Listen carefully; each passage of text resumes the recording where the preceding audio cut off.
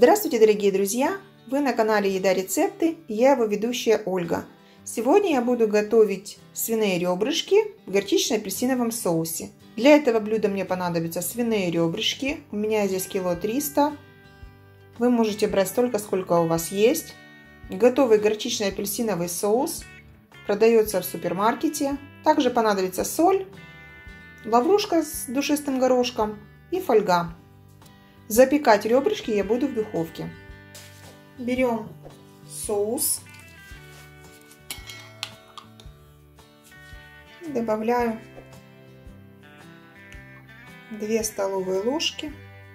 Ребрышки мариную, перемешиваю хорошо. Нужно все перемешать, каждую косточку Если вам кажется, что соуса мало, можете добавить.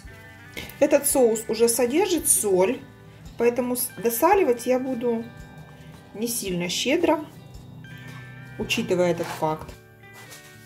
Досаливаю. И еще раз хорошенечко перемешиваю. Сейчас ребрышкам нужно дать постоять минимум полчаса. За это время нужно подготовить посуду, разогреть духовку. Все, ребрышки я замариновала, накрываю крышкой и оставляю мариноваться. Вот ребрышки промариновались. Сейчас буду их выкладывать в посуду и отправлять в духовку. Духовка у меня сейчас разогревается на 200 градусов.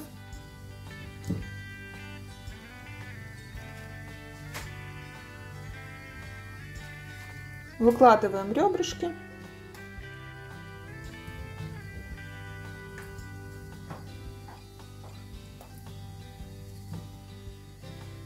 Добавляю так на дно листик, лаврушечку. Это просто для запаха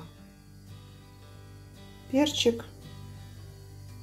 Когда ребрышки пустят сок, то смешается будет дополнительный аромат. Теперь накрываю ребрышки фольгой. Теперь блюдо с ребрышками ставлю в духовку при температуре 200 градусов на 40 минут. Итак, прошло 40 минут. Я ребрышки достала.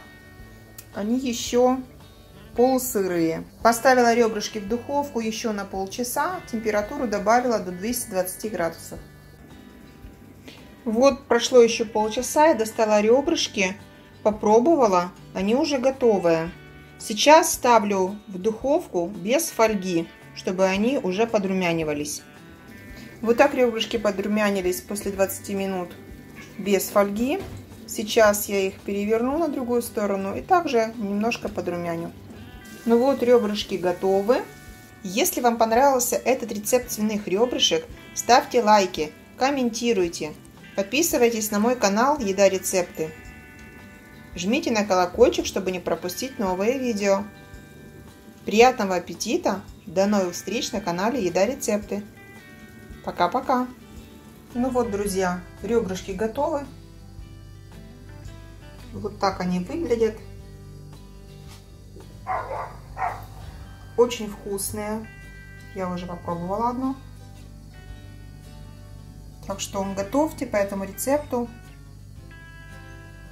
Уверена, вам понравится.